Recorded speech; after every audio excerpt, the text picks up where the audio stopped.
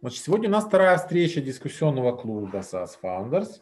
Что мы здесь делаем? Мы раз в месяц читаем книжку, какую-то интересную, полезную, я бы даже сказал такую, а, меняющую а, ощущение и понимание, да, то есть какую-то достаточно системную, которая позволяет понять, что можно улучшить в бизнесе, а, и потом обсуждаем на дискуссионном клубе.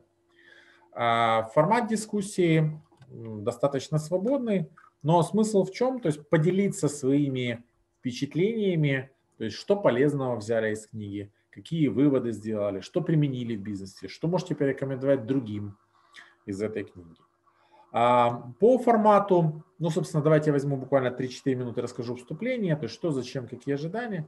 Немножечко каждый расскажет о себе, с кем, с кем мы знакомы, с кем не знакомы. То есть что в частности, ну, то есть просто небольшое представление, буквально по три минуты каждый. Я расскажу, почему эту книгу я выбрал для, а, для этого засед... ну, как бы для, для этого созвона. И потом каждый расскажет о своих впечатлениях и поделимся впечатлениями, эмоциями. И, собственно говоря, обсудим, какие следующие книги можно было бы взять почитать.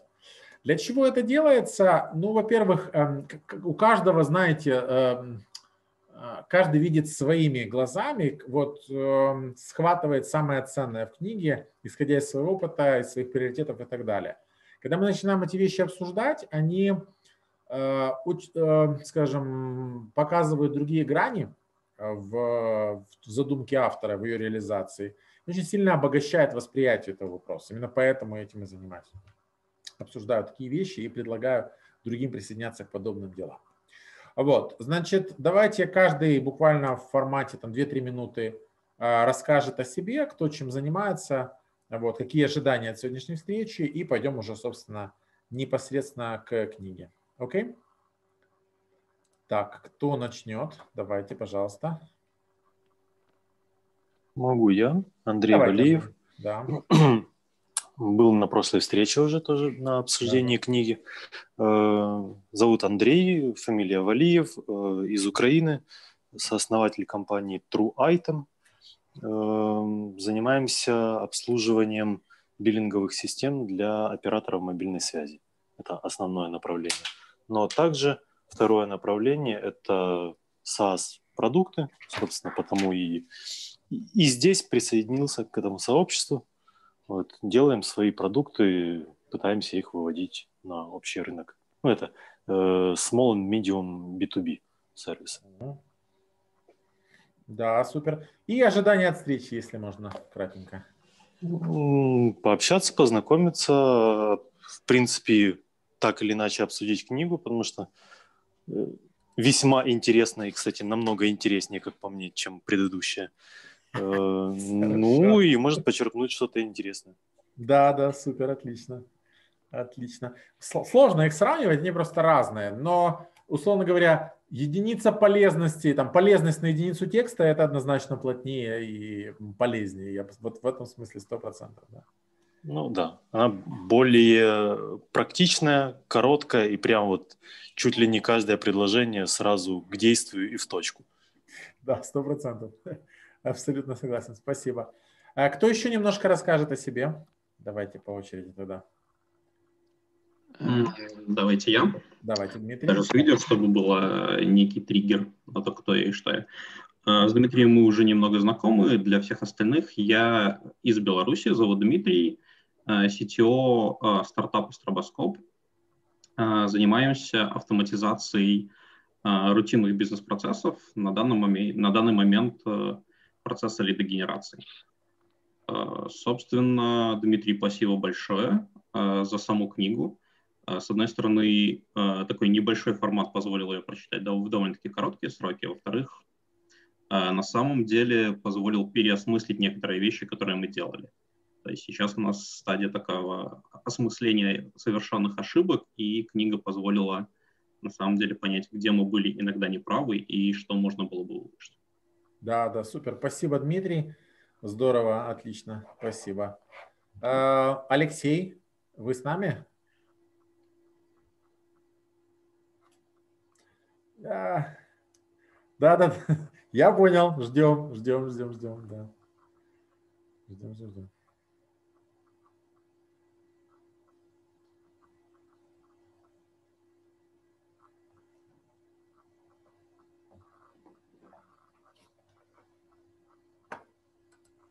Не слышно, не слышно.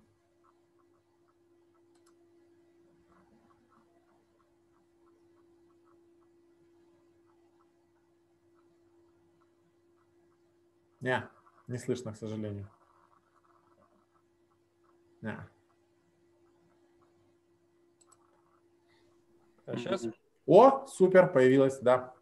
Извиняюсь, накладка технический. Я проектный менеджер по своей сути э, из Минска. Работал с многими стартапами, с продуктовыми стартапами. Э, сейчас свой медтех-проект развиваем. Э, параллельно веду другие команды, доставляя продукты заказчику. И одновременно веду с Дмитрием работу по лидогенерации в своей новой компании. Э, почему пришел сюда? Я имею привычку читать. Как раз закончил прошлую книжку, и раз вы анонсировали эту, соответственно, посмотрю, что там такое, потому что я ее уже заказал на ОЗ. И, собственно, да, вот. супер. Хорошим людьми пообщаться приятно. Да, спасибо. У Алексея, кстати, если позволите, немножко расскажу. У Алексея очень интересный стартап в телемедицине с практическими результатами. То есть это софт, который позволяет делать операции, поэтому э, и это операции, которые уже реально осуществляются. То есть это не фантазия, не идея, это реализованное решение. Поэтому если, у, у, то есть знаете, что если телемедицина, то это к Алексею. Вот, это первый момент, там и опыт, и реально. И потом личное восприятие Алексей очень четко выражает свои мысли, четко знает, чего хочет. И это одно из э, качеств, э, как бы вот, э, как бы чтения и осмысления, мне кажется, формирует эти вещи. И очень здорово, что вот вы это, это, это этим качеством очень мы с вами все, что обсуждаем, это быстрый, четкий обмен фразами, идеями, мы друг друга прекрасно поняли, и мы, опять же, за единицу времени максимум полезности друг другу дали. И это, это супер, это то, что мне нравится в нашем с вами общении, и то, что я хотел бы выделить. Спасибо. Да, спасибо. А, так, кто еще? А, Сергей, вы с нами? Да. Да, с вами. Да, пожалуйста, расскажите о себе. А, я сооснователь сервисной компании, э, которая занимается аутсорсингом, аутстафом. В общем-то, с Дмитрием познакомился, чему очень рад, э, на почве лидогенерации. Сейчас мне эта тема интересна. Вот, читать люблю, э, интересные книжки с удовольствием читаю, поэтому я здесь. Да, супер, отлично, спасибо. Светлана. А Светлана нам что-то скажет?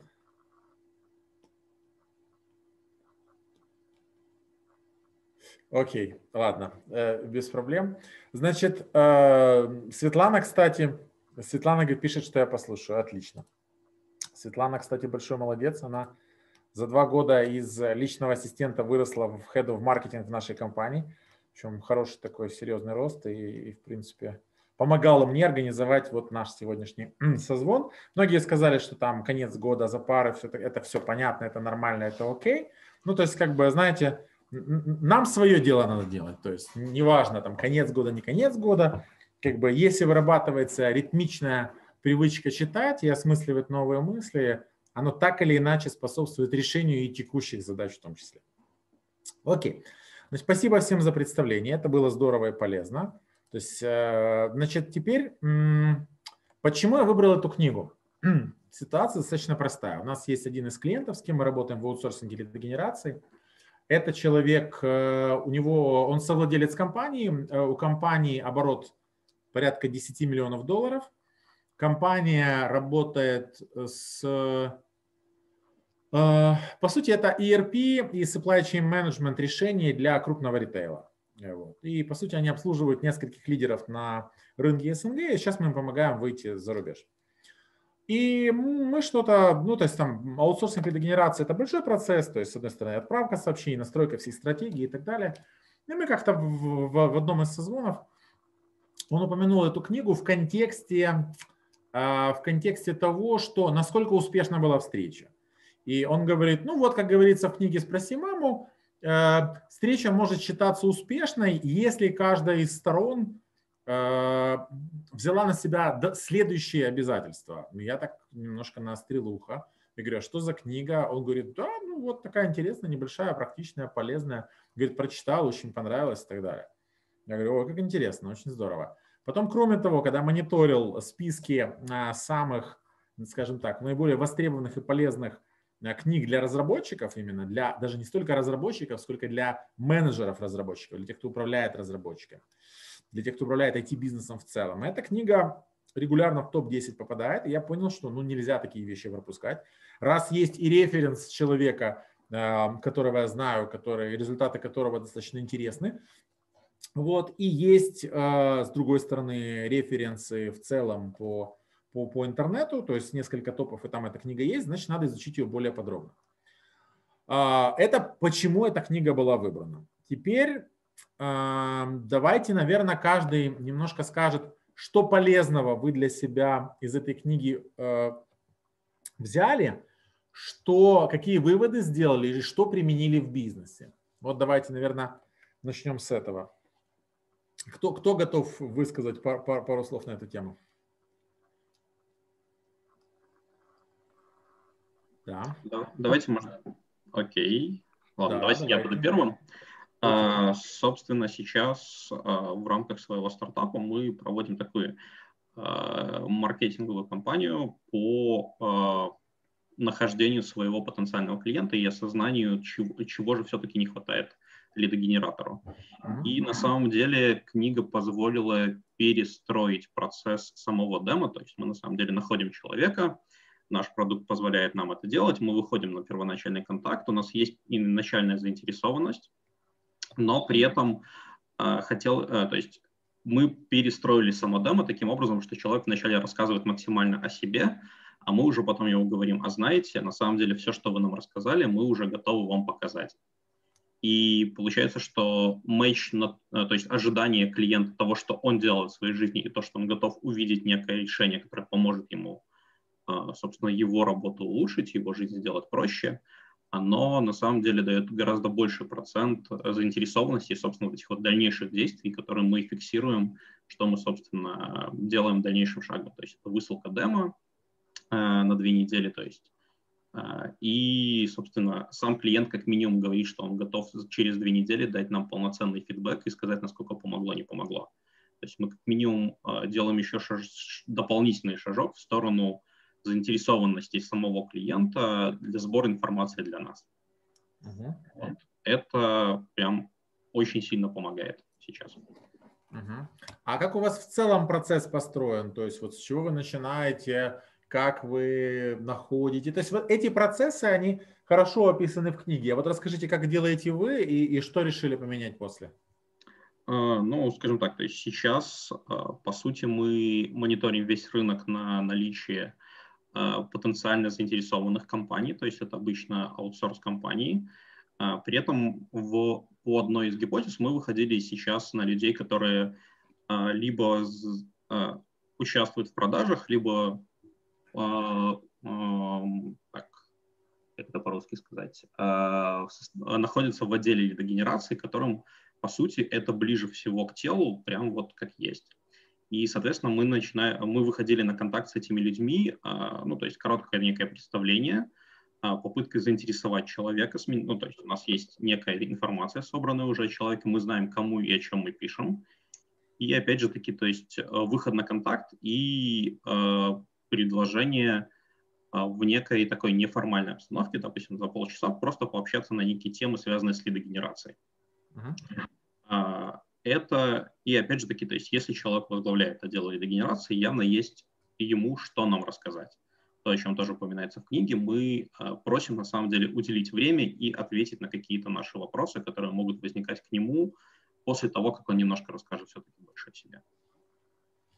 Uh-huh. Сам вот этот флоу, немного уже перестроенный, а, на самом деле дает хорошие результаты. Uh-huh.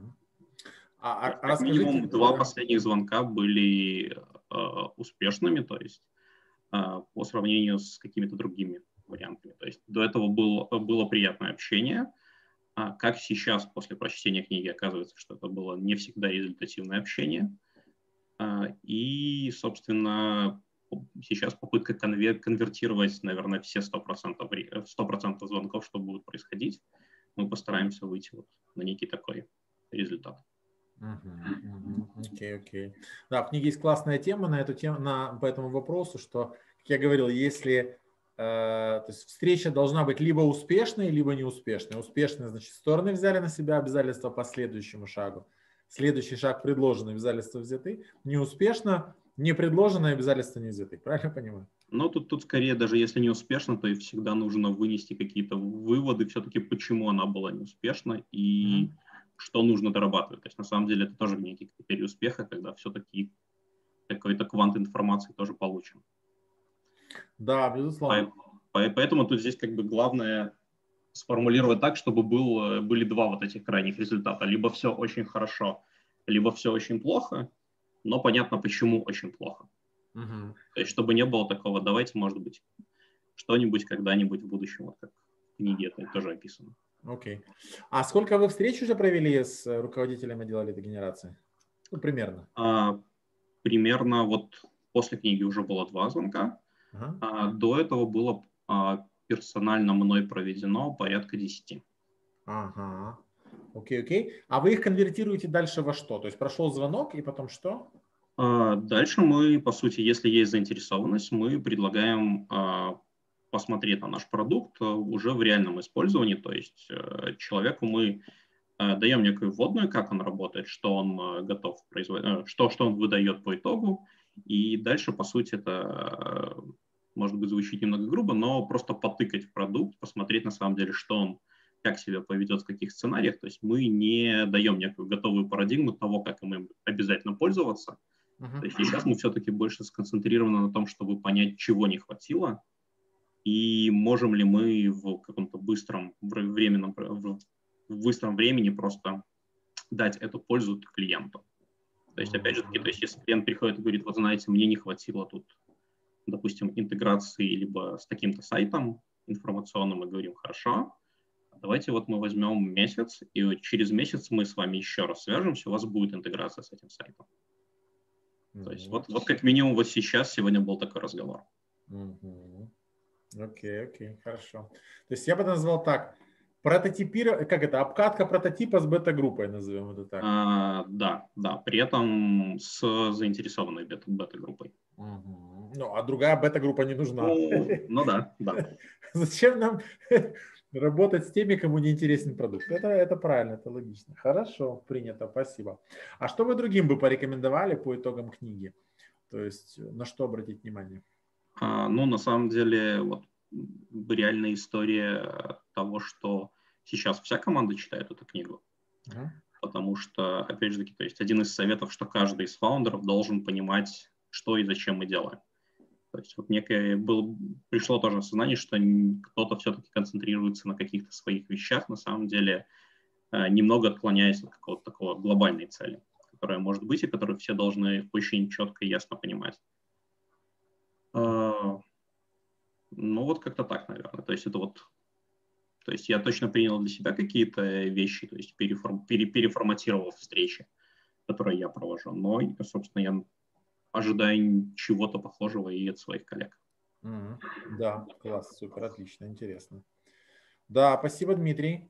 Так, коллеги, кто, кто еще что расскажет? Кого что зацепило, кому что было полезно, кто что применил? Да, можно я продолжу? Да, Сергей, пожалуйста, конечно, да. Вот, э, на самом деле книжка понравилась. Э, сейчас я где-то примерно половину прочитал уже. Э, напомнила мне одно выступление на Теде. Давненько когда уже видел. Если видели, Эрнеста Сироли. Запишем. Так. Я потом ссылочку найду, кину, достаточно популярно. То есть он рассказывал про свой опыт в Африке, о том, как они овощи выращивали. Вот, потом пришли гипопотамы и все съели. И они кричат там местным жителям, которым вообще не помогали ничего выращивать. Смотрите, это же гипопотамы. Говорит, почему вы нам раньше не сказали? Говорит, так вы же не спрашивали. Точно, да. Вот, в принципе, как бы, ну, книжка, в общем-то, в это укладывается. То есть, если ты будешь больше слушать, ты сможешь предлагать те решения, которые людям действительно нужны, а не то, что тебе э, ну, по твоему мнению, э, им может пригодиться. Вот, это здорово. И вторая мысль, которая мне там понравилась, да, то есть это, ну, пока во всяком случае, да, то есть я, например, на половине книги, э, уходить от э, формальных интервью к неформальному общению. В неформальном общении, когда ты сломал уже этот барьер, там, допустим, неловкости, когда человек думает, боже, что же ему сказать, а, как отреагировать, то ты можешь получить гораздо больше информации uh-huh. и полезной информации. Вот, поэтому, допустим, сразу там хвататься за карандаш, цеплять формальный вид и э, пытаться задавать какие-то правильные вопросы по книжке, это, наверное, худшее, что можно предложить на первой, там, на второй встрече. То есть пока не подружился, пока не завоевал доверие, не, не понял, ну, не показал, что ты из того же круга и тебе можно доверять, тебе все равно никто ничего не скажет. Да, да, золотые ну, слова, это точно. Как-то так. Угу. Понятно. А что применили у себя в бизнесе уже из этой книги? Ну, ты знаешь, я понял, что я как-то вот подспудно такие вещи применял. Угу.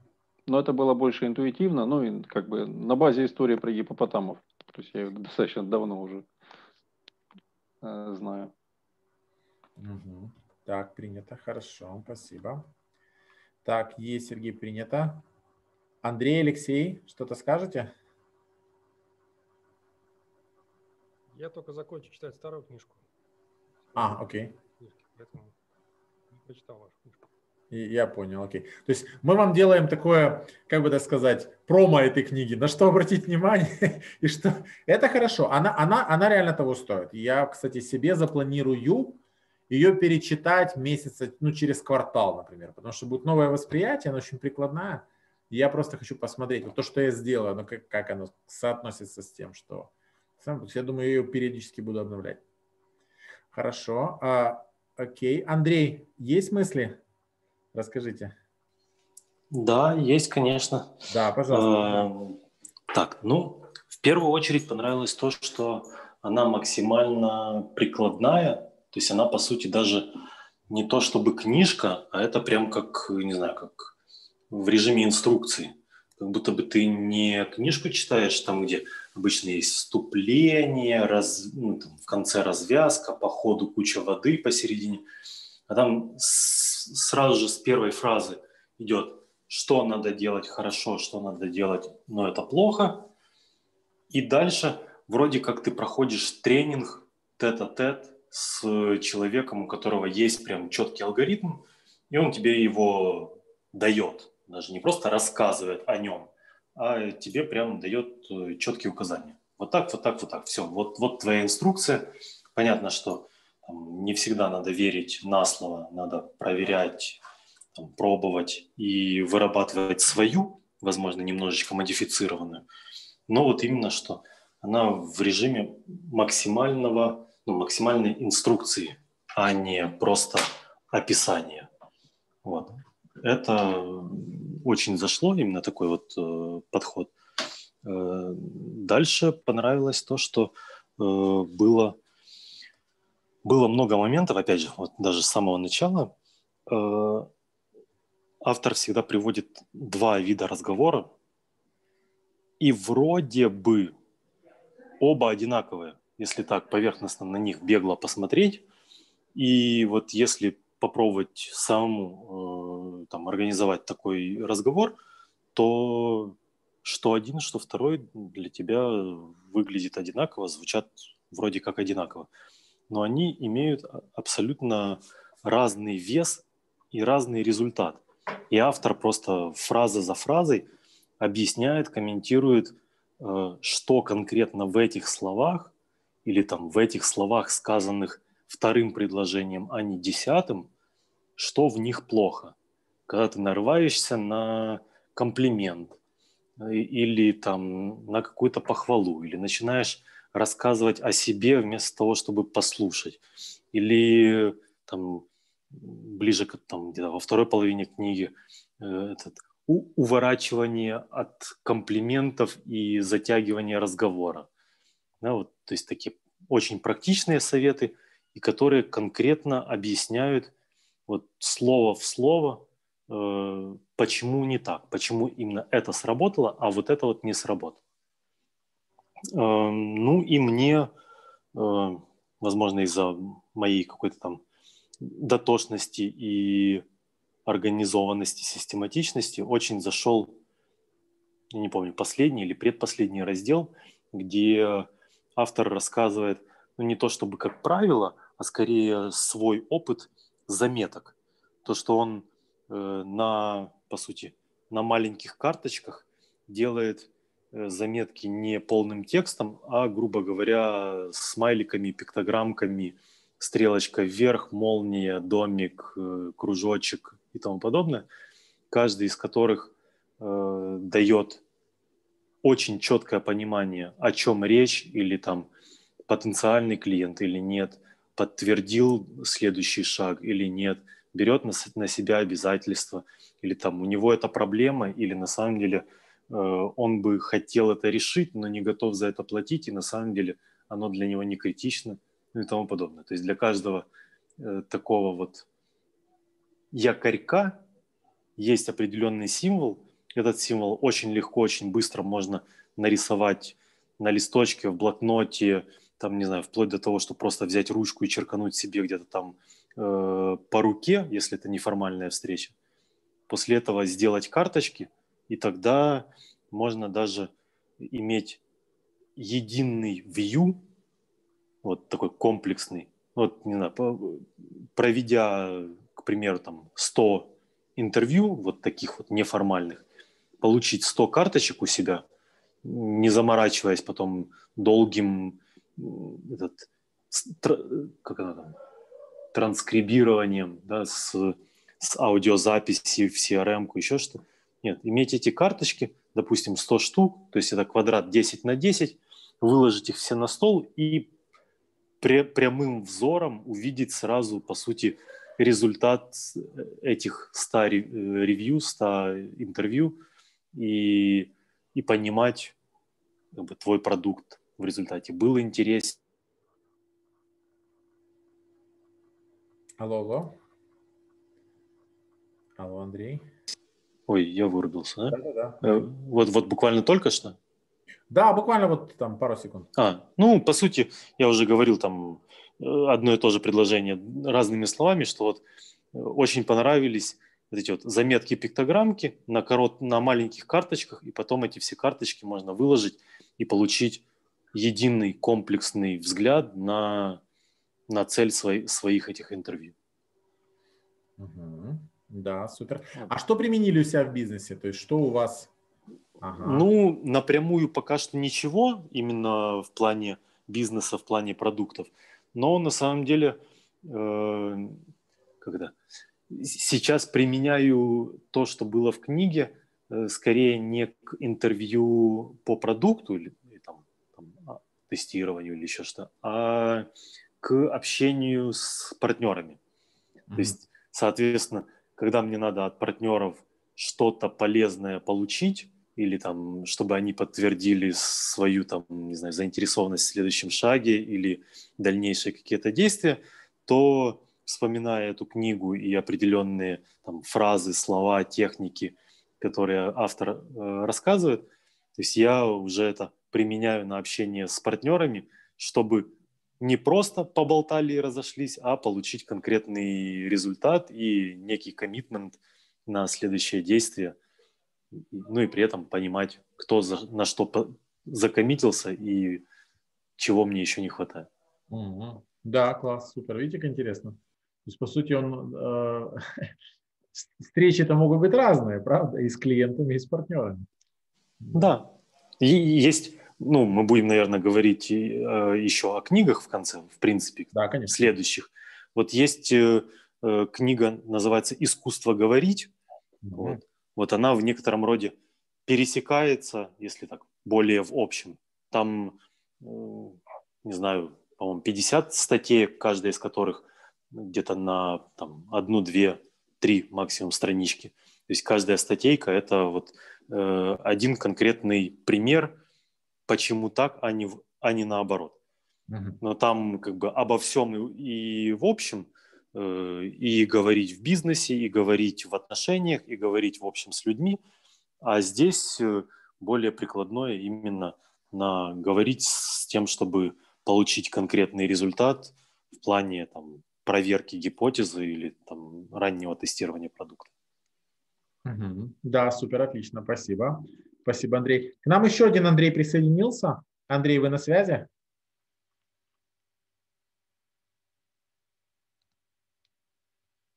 Алло, алло. Алло, алло. Да, Андрей, здравствуйте. Добрый вечер, да, прошу прощения, немножко опоздал, задержался. Рада вас видеть. Расскажите немножко о себе, чем занимаетесь, и немножко о книге тоже расскажите. Какие... Ну, я, да. да, я занимаюсь, я менеджер проектов, и мне книжка была интересна, в принципе, в разрезе, наверное, большей степени бизнес-анализа, то есть умение слушать, э, слышать и слушать заказчиков, понимать их цели, задавать правильные вопросы, опять-таки в этом ключе. И в принципе, ну я как бы книжку раньше я так ее немножко читал, просматривал, вот сейчас не вернулся, пересмотрел, и там много достаточно полезных таких практических советов, вот прям что, что стоит говорить, что не стоит. Как я заметил, она в достаточной, в достаточной степени э, пересекается, сейчас просто перечитываю, Чалдини «Искусство убеждения», по-моему, вот там прям не правильные вопросы задавайте, не формулируйте ответ в своем вопросе, дайте сформулировать его человеку. Вот знакомые такие вещи прям встречаются и заметны. Да, да, супер, отлично. То есть, я так понимаю, применяете у себя в, в деятельности для того, чтобы выстраивать э, правильные э, переговоры с сотрудниками, клиентами, наверное, да? Да, да, в основном да. Ну, в принципе, эта книга применима вообще как бы как переговоры в жизни вообще достаточно широко в любой практически области. Вот, как, как любая книга там такого по переговорам, по искусству. Конкретно каздевом я не занимаюсь, я не продуктовый менеджер, но в принципе и в разрезе проектного управления, в разрезе бизнес-анализа она достаточно полезная и учит задавать правильные вопросы, формулировать, слышать ответы, что именно человек хочет сказать. Да, да, сто процентов, сто процентов, согласен. Хорошо, Андрей, спасибо, спасибо. Эм, немножко о своем впечатлении расскажу. Ну, с одной стороны, так получилось, что в 2003 году, в 2004 я ушел из IT, э, именно из продуктовой разработки, Э, в собственную э, компанию, то есть решил сделать собственную компанию. В, вот там с 2000, какого, с 2000 года занимался продуктовой разработкой, был маркетинг-менеджер, это были продукты, направленные на внешний рынок. Вот, и я понимал, что от того, насколько мы четко понимаем, что надо потребителю, причем не в своей голове, а что происходит в голове у клиента, от того зависит успех продукта.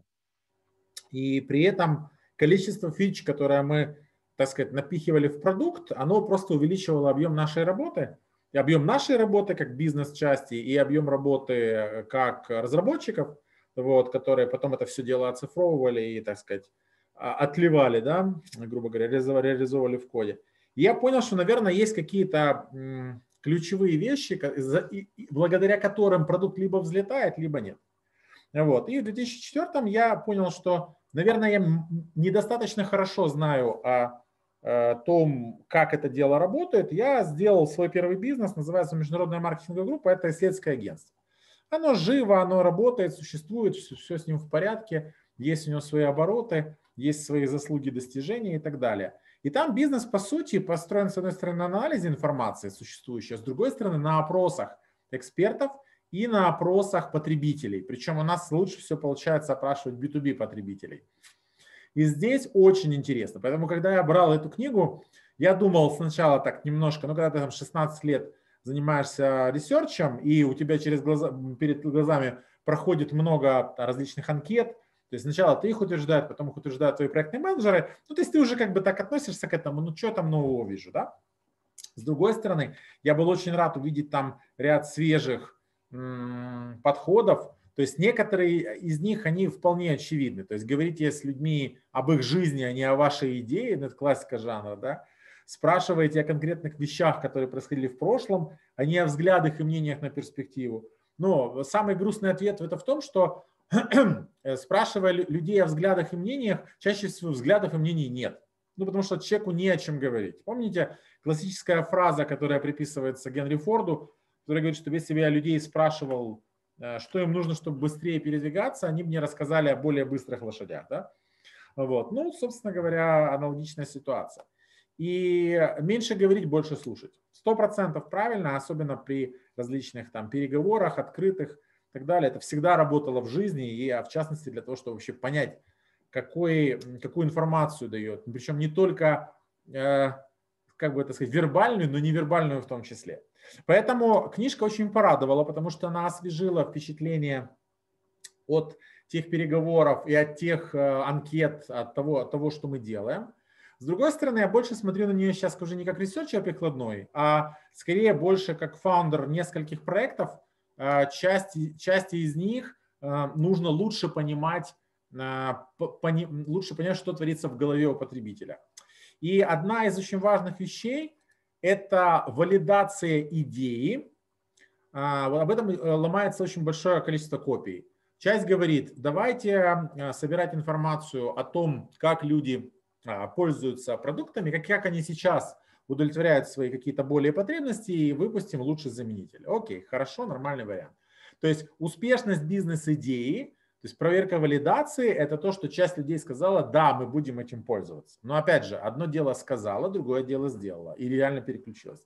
Тут есть определенный разрыв. Другая часть говорит следующее. Окей, если люди готовы оставить нам свой email или сделать какой-то следующий шаг, значит им это нужно, они в это верят и они хотят это получить. Классическая схема, когда делается одностраничник, условно, на нем рассказывается о том, как решается проблема, и говорится, привет, бета-группа, давайте вы засайнаптесь, получите бонус, ну, собственно говоря, смотрится, окей, мы, мы там пригласили людей, они почитали, посмотрели, кому интересно, засайнапились, именно из нашей целевой, не всех подряд. И мы понимаем, ага, процентное соотношение больше, хорошо, меньше, плохо. Опять же, я проводил такие штуки э, с очень узкой целевой аудиторией, в частности, с фаундерами, с IT-директорами американских IT-компаний, например. Они очень хвалили какие-то проекты, рассказывали, что это все супер. Даже имейлы оставляли. Когда продукт был выкачан, они сказали, боже, что это, никогда об этом не слышал и не понимаю, как это работает. Да? То есть есть определенный разрыв между тем, что люди говорят, что они готовы делать и за что они готовы платить деньги, в частности. Да? Ну, потому что когда мы говорим о продуктах рыночных, наверное, лучшим подтверждением является как раз монетизация. То есть если люди за это платят, значит людям это настолько нужно и важно, что они свои ресурсы вкладывают в это. Да? И вот э, один из вариантов, который мне очень понравился, который мы в своей жизни практикуем, э, вот тут написано так. Хотя люди редко готовы сказать вам со всей определенностью, сколько они готовы, сколько они вам заплатят, они часто могут показать, что представляют для них ценность. Это да. Ну вот часть проектов э, каких-то небольших, которые мы сейчас делаем уже, собственно, для себя, именно в своей собственной продуктовой разработке, в собственных, это инвестиционные проекты, то есть я в них инвестирую, я в них валидирую идеи. Если идея стреляет, мы дальше его развиваем, двигаем дальше, либо двигаем самостоятельно, либо продаем, либо с партнерами как-то развиваем. Ну, в общем, разные там истории есть и так далее. А вот. И э, здесь я все больше склоняюсь к тому, что мы будем делать э, сначала продавать, а потом делать. То есть мы выкатываем идею, описываем ее целевой аудитории, через какую-то тестовую рекламу ее доносим и просто просим приобрести это решение. Если это сложное решение, какую-то первую его часть, небольшую часть, и когда люди подтвердили это деньгами, даже не видя продукта и так далее, вау, тогда это хорошая идея, тогда, соответственно, мы пьем в правильную боль и так далее. Вот, поэтому вот эта книжка подтолкнула меня к тому, что путь правильный. Вот, понятно, что не во всех решениях это возможно прямо так. То есть, да, э, если решение, вот как биллинг, например, биллинговое решение для телеком-компании, так продать будет сложно. Ну, Дим, а, да, можно, можно комментарий? Да, да, пожалуйста, конечно.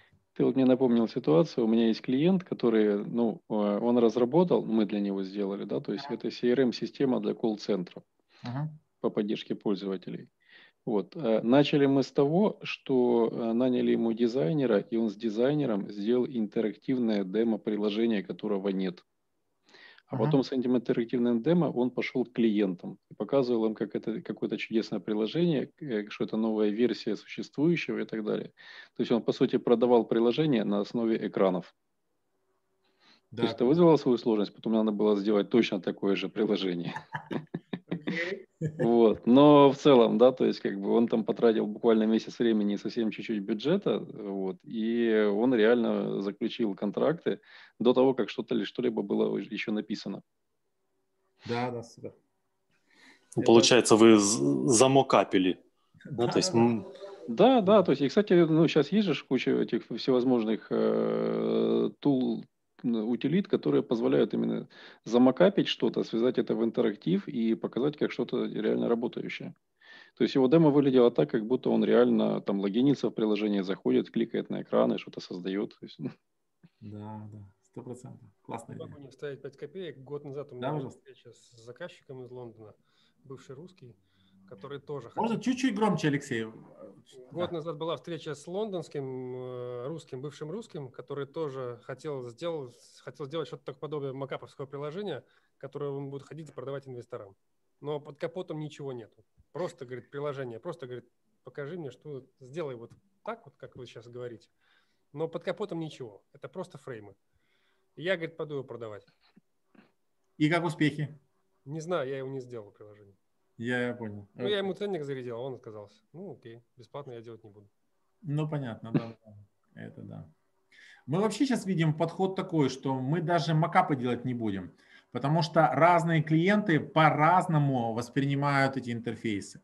То есть я сначала продам ценность от продукта, то есть просто донесу им, вот смотри, у тебя есть такая проблема, обычно ее, ну там условно, у таких как ты есть такая проблема. Раз, там, вот, обычно ее решают так, так, так. Проблемы, связанные с решениями такие, такие, такие. Вот есть решение, которое решает это так, вот такая у него окупаемость, такие-то самое и так далее. Вот тебе гарантия там, возврата денег, если что. Вот сумма, сделай небольшой платеж в рамках там, ну, мы тестируем же еще и Customer Acquisition Cost, нам нужно понимать, сколько нам стоит привлечь этого клиента. То есть там несколько моментов. То есть получи там, заплати первую сумму, пусть даже небольшую, или там заплати первую сумму с 50% скидкой, например, да, вот, за то, что ты один из первых там и вперед, да, и получи гарантию возврата денег.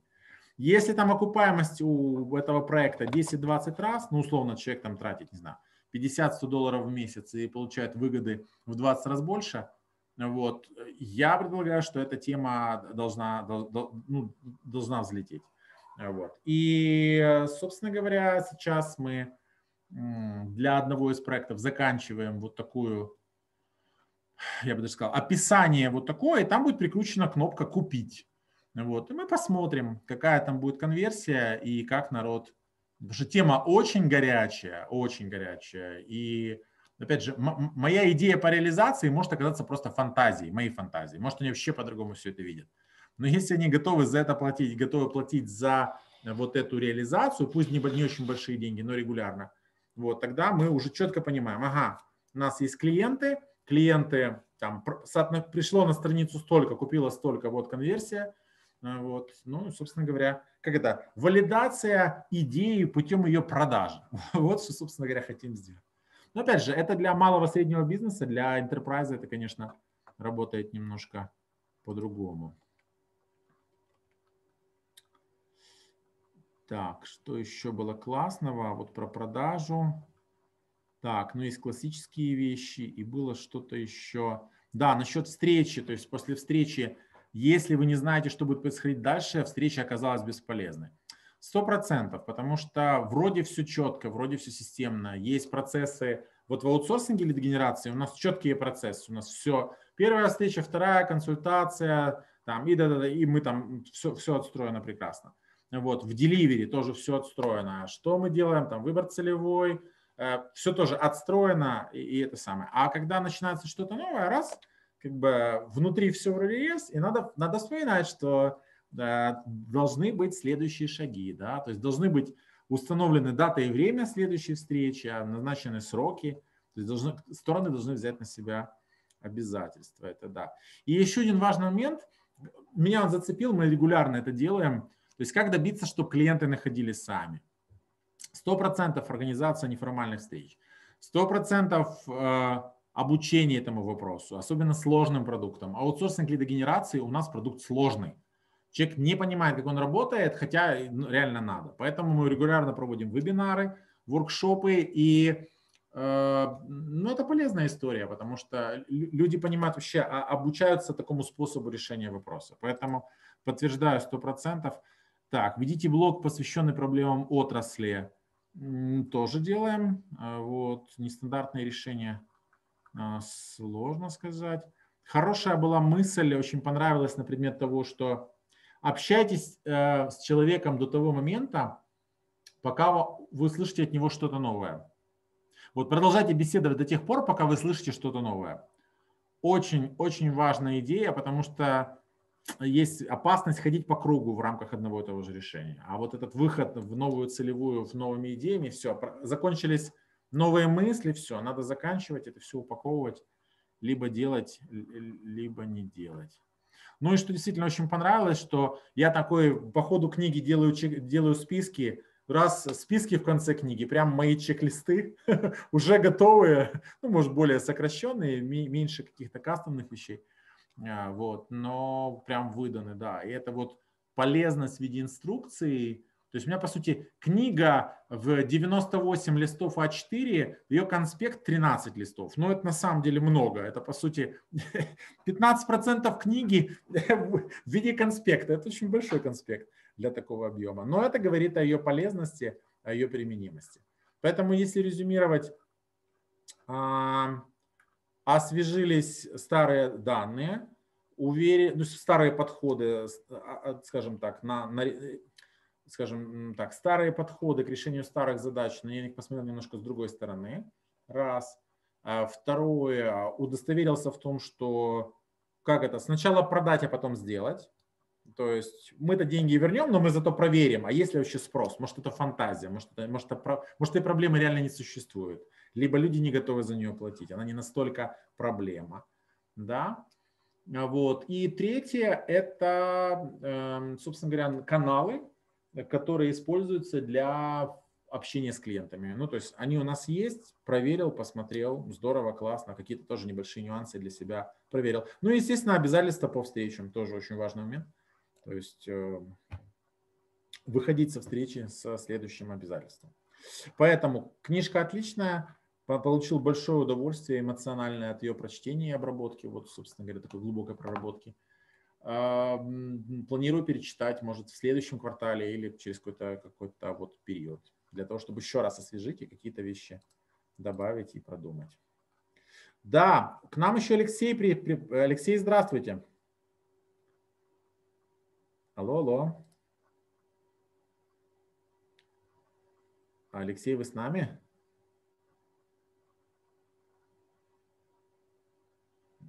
Так, Алексей, наверное, подключается. Так, окей, хорошо. Ну, сейчас дадим слово Алексею тогда тоже, чтобы высказался.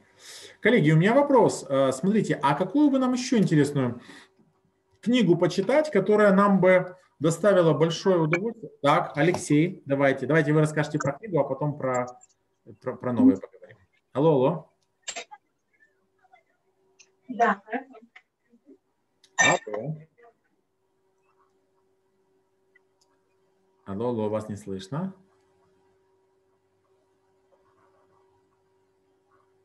Так, выключился звук. Просим еще раз включить.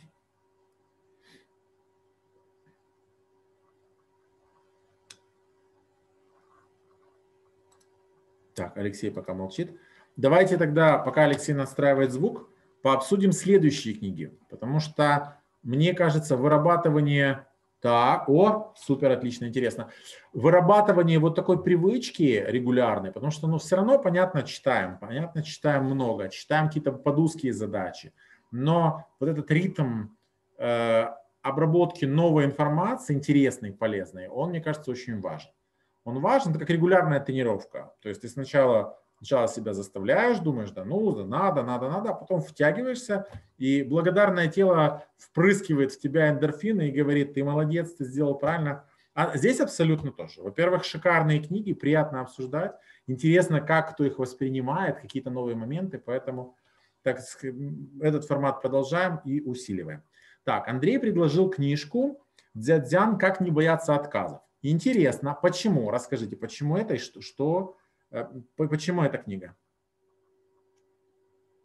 Эм, на самом деле, опять же, она довольно маленькая, соответственно, без проблем ребята смогут прочитать.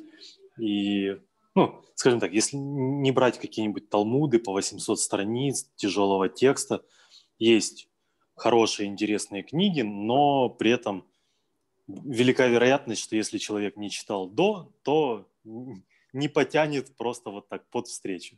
Okay. Вот. Поэтому такие скорее быстрые. Плюс э, быстрые короткие книжки, они обычно не напихано в них воды, они как это, коротко и по сути. Uh-huh. Вот. И конкретно эта книга, э, это человек описывает свой опыт, он потом там еще вел э, блог, влог, э, там свой сайт и потом написал книгу. То есть э, там у него, по-моему, 100, да, ну, вроде как это эксперимент, 100 отказов mm-hmm. э, он проводил, и, получается, его цель была, чтобы ему 100 раз отказали. Mm-hmm. Просто сказали «нет». Вот, неважно на что, «нет». И если вначале у него были очень такие, казалось бы, детские вопросы-запросы к людям, и он то получал «нет», то «да», Э, то потом он начал усложнять, ставил более такие, ну не то чтобы масштабные, но более какие-то серьезные цели или вопросы были э, достаточно дикие, достаточно странные, и все равно на часть из них он получал положительный ответ, чему он удивлялся, удивлялся человек, который все-таки давал ему положительный ответ, и тем самым оно развивает, во-первых, э, некую храбрость, во-вторых, понимание, э, не знаю, усиление себя и понимание, что больше мы боимся не других людей, а сами себя, по сути. То есть это все у нас, э, ну, как эти, не предрассудки, типа как комплексы наши. Uh-huh. Да? То есть получается, э, мы сами себя осуждаем, мы сами себя оцениваем, мы сами себя комплексуем – и из-за этого мы думаем, что нам скажут нет. Угу. А возможно, человек прям хочет сказать да, даже на, на какой-то дикий вопрос, потому что это как минимум весело, нестандартно. Потому что в сером современном мире даже вот что-то дикое, оно вроде как ну, имеет какой-то цвет помимо серого. Вот. И в результате, не знаю, мне прям очень понравилась, зашла книга, и она достаточно небольшая и вполне, опять же, практичная, потому что э, книга описывает 100, ну там он не все 100 описывает, но там, не знаю, около половины именно своих конкретных опытов, когда он пытался получить отказ, а в некоторых случаях получал положительный ответ. Да, супер. Напомнила технику, как обучают э, сейлов. То есть э, это более характерно для, для таких, для для телефонных продаж, я помню, я этой темой интересовался много. Ну, у меня, в принципе, свой же колл-центр, то есть в первом бизнесе. То есть ребята, которые а, дозваниваются до директоров для того, чтобы узнать их мнение. Причем в Украине, не в Украине, там не суть важно. Да? И там это одна из техник, да, то есть если ты, то есть ты должен быть отказоустойчивым, то есть и э, у сейлов это еще интереснее, то есть если ты не выполнил свою норму отказов, то есть по сути звонков, да, и то, соответственно, ты не выполнил свою задачу. Поэтому 100% да, интересно. Я, я думаю, это э, супер рекомендация. Спасибо. Так, хорошо. Есть рекомендация от Алексея. Супер интересно. Э, кто еще что-нибудь? Э, так, Сергей, можете порекомендовать какую-то книгу интересную? Дмитрий, Алексей. Джеймс Борг. Ух ты, как интересно. Искусство говорить. Так, а что здесь? Расскажите, тоже интересно. Ну, это которую я упоминал, что она в некотором роде пересекается с, э, ну, с книгой mm «Спроси маму». Mm-hmm. Вот. И там коротенькие статейки, в каждой из которых, э, ну, каждая из которых буквально там на страничку две. И каждая показывает определенный момент, там, когда ты хочешь сказать одно, а на самом деле говоришь другое, или как тебя слышат э, при там, таком-то ответе или таком-то вопросе. То есть очень, очень практичная, небольшая книга, около 50 там конкретных вот э, практических советов, и она, она в общем-то, не по бизнесу, но она помогает лучше формулировать э, ну, свои фразы, лучше понимать, как реагирует э, на то, что ты говоришь твой собеседник, как вести себя и, собственно, как говорить, если ты хочешь не просто поболтать, а получить определенный результат от разговора. То есть она в некотором роде это и вот как, э, э, как там, психология влияния, вот то, что упоминал кто-то из ребят, э, Роберт Чалдини, в некотором случае вот как книга ну, вот, сегодняшняя, вот, и, и в общем просто о разговорах даже на неформальные темы. Да, супер, отлично. Так, есть. Ага. Так, так, так, так. Значит, еще есть интересная идея. Это как управлять рабами. Джерри Тонер, Марк Сидони Фалкс. Расскажите, Дмитрий, почему эту книгу стоит почитать? Ну, скажем так, это немножечко такой шажок в сторону, так как э, долгое время я возглавлял отдел разработчиков. Uh-huh. То есть здесь на самом деле через призму исторических документов о Древнем Риме показывается, каким образом э, можно руководить, по сути, э, неким там некой группой людей, то есть э, каким образом э, раньше, по сути, патриции, которые были, они управляли со своими рабами, что, они, что их мотивировало, как они подыскивали себе рабов, то есть, по сути, это э, найм новых сотрудников, то есть на что обращали внимание, на что нет. И просто производятся постоянно такие исторические параллели, как это было раньше, и почему на самом деле это все, все еще продолжает работать сейчас. Окей, okay, да, вопросы мотивации. Для нас, для руководителей, вопрос мотивации, он один из самых основных, это сто процентов. Сами мы точно все не сделаем, даже если очень захотим. Нам надо собирать команду, зажигать команду, мотивировать, и тогда, тогда мы становимся там, просто синергия работает фантастически. Окей, спасибо, интересно. А, так, э, Алексей предложил несколько книг. Значит, Астервальдер. Астервальдер э, это именно книга про бизнес-модели. У него там две книги. Одна про Canvas, которая, да, а вторая про бизнес-модели.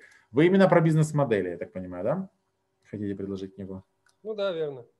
Угу, окей. Потому что про Canvas она очень классная. Я ее, я ее сначала э, скачал в PDF, э, но потом я ее просто купил. А, вот, она там стоила долларов 15 или 20. Вот такой том, вот, просто который раскрывает Canvas. Я одно время пытался свои бизнес-идеи там или чужие оценивать по Canvas, но как бы тот самый. А, это, это окей.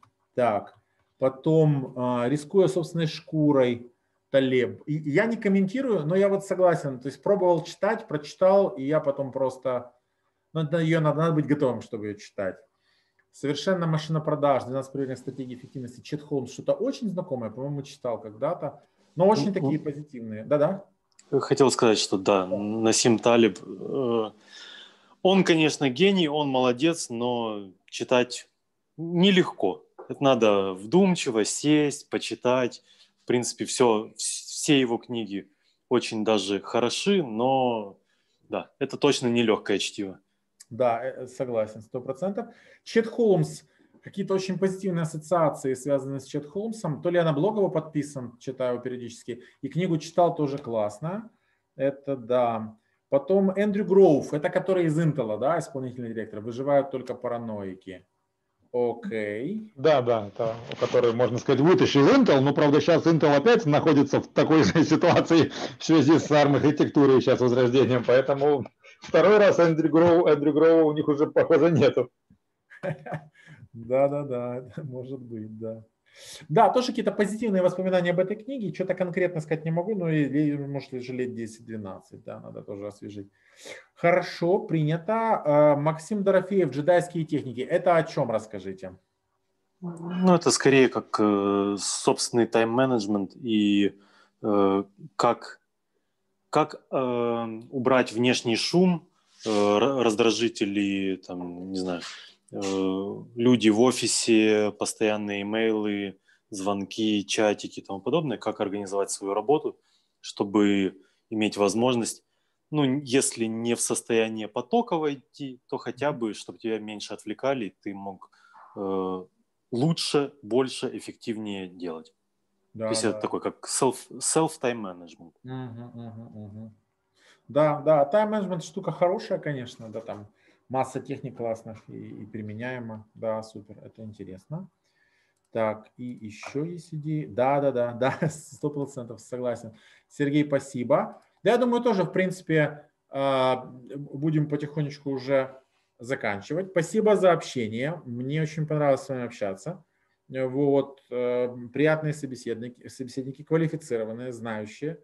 Э, я тогда, если вы не против, э, сделаю в, SaaS Founders, выложу в закрытую группу видеозапись, пусть люди послушают умные вещи, этому это будет интересно и полезно.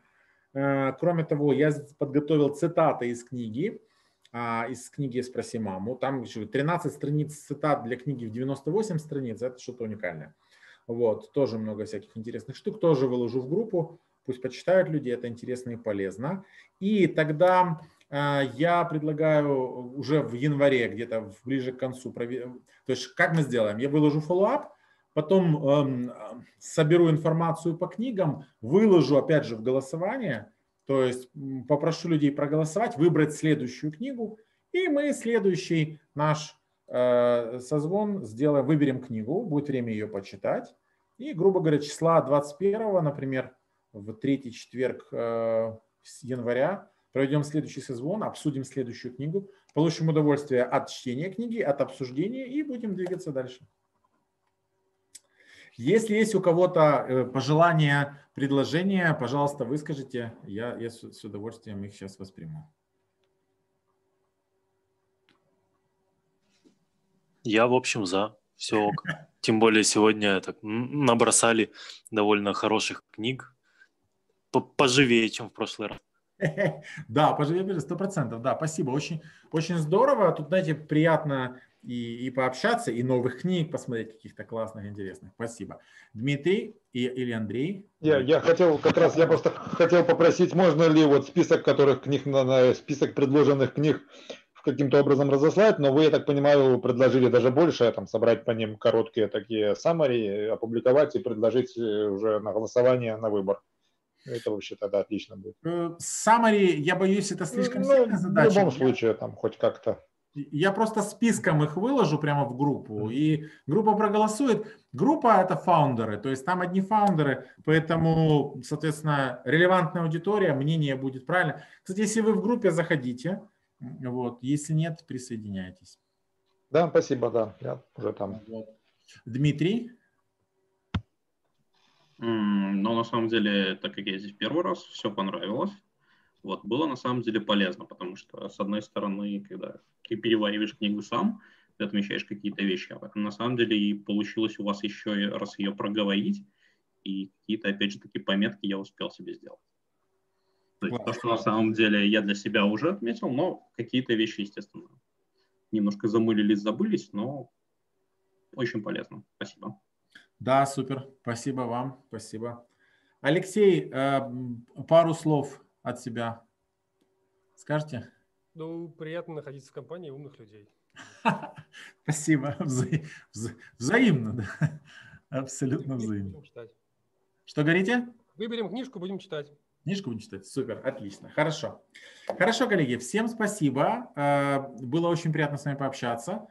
Э, вот, желаю нам всем с вами хороших, интересных книг, новых, свежих идей, хорошей их успешной валидации, чтобы мы были богаты и идеями, успешными их реализациями, ну и, собственно говоря, росли э, в мыслях, росли в делах и добивались новых вершин. Всем хорошего вечера и до следующей встречи. Всем счастливо. Пока-пока. Да, хорошего вечера. Да, спасибо. Хорошего вечера. Спасибо за организацию большое. Спасибо. Всего хорошего. До свидания. Спасибо. До свидания.